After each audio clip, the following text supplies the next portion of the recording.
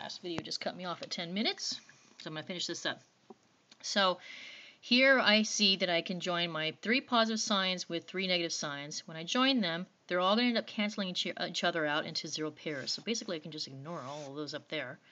And what am I left over with? I'm left over with negative 3, or 3 negative signs, which is the same thing as writing it like this, negative 3. So I'm going to do the same thing. Now I'm going to do it with negative 6, subtracting a positive 3. So let's start off with our negative 6. 1, 2, 3, 4, 5, 6. There's my six negative signs. And now it says I need to take away three positive signs, which I can't do. I don't have any positive, positive signs in this, in this bunch here. So what I need to do is I need to, again, use the technique of adding in some zero pairs to the pile so that way I can obtain some positive signs.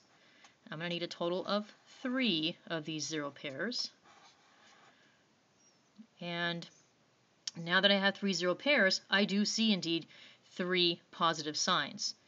And now, so that I go back to the problem and read it. I start off with six uh, negative signs, and I have to subtract three positive signs. So here's my positive signs. I'm going to subtract these, take them away, and then I'm going to look at see what I have left over. And what I have left over is 1, 2, 3, 4, 5, 6, 7, 8, 9.